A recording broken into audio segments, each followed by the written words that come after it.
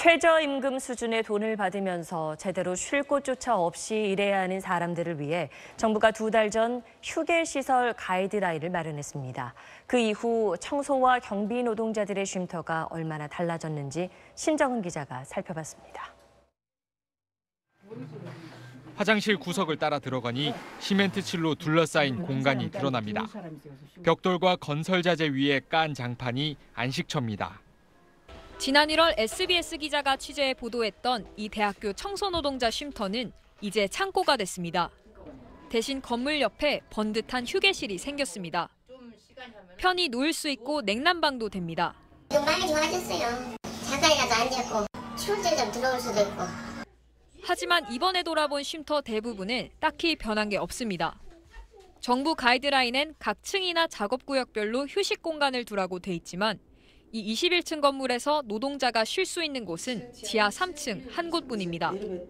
청소 노동자들은 각자 맡은 구역을 쉽게 떠나지 못해 화장실 걸레 빠는 곳에서 한숨을 돌려야 합니다. 밥 먹는 시간 외에는 항상 여기 있어야 해요. 딴 데 가면 안 되고. 지하에 있는 청소 노동자 쉼터는 햇볕이 들기는커녕 환기도 제대로 안 되고 빗물이 새는 곳도 있습니다. 지하 6층 주차장에 있는 이 대학의 노동자 쉼터는 배기가스 때문인지 환풍구에 시커먼 때가 덮였습니다.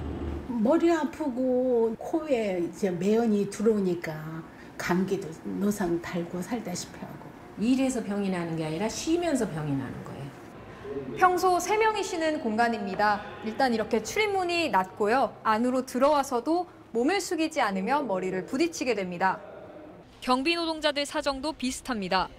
대학 강의실 건물 계단 아래 있는 이 쉼터는 가을인데 벌써 한기가 스며들고 오가는 발자국 소리에 쪽잠을 청하기도 힘듭니다. 이 계단에서 그 구두 소리가 양은 반이 이 울려가지고 소리가 더 커요.